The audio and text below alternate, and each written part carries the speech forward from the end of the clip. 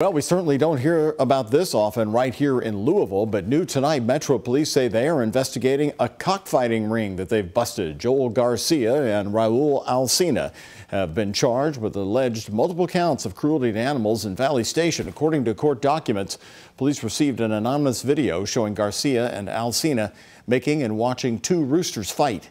Police say they executed a search warrant and confiscated four roosters, four hens, and six chicks. Some of the roosters had cuts and open wounds. Court documents also show police found several vitamins and supplements, sparring mitts for fighting birds, weighted leg wraps, and a dummy rooster used to train the roosters.